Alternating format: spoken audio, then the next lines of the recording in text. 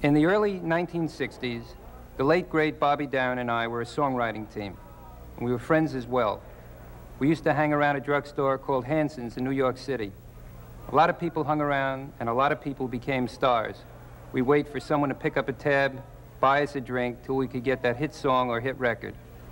A fellow who hung around with us at the time was Johnny Nash. He was a nice guy, and once in a while he would pick up the tab. He's come a long way. He's a triple threat talent songwriter, producer, arranger, and a heck of a guy. Here he is on Rock Concert with Gordon DeWitty and Nature.